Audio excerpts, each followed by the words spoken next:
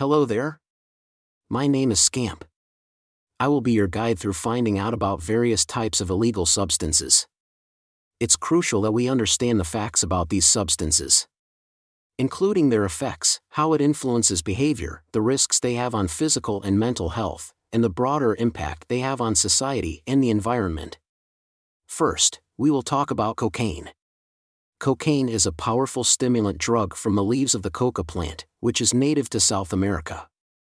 It is a Class A substance with a high potential for abuse. Cocaine usually appears as a white powder and can be ingested in various ways. The most common methods include snorting the powder through the nose, smoking it as crack cocaine, a solid crystal form of cocaine, or injecting it into the bloodstream. When cocaine is ingested, it rapidly enters the bloodstream and affects the central nervous system, leading to various physiological and psychological effects.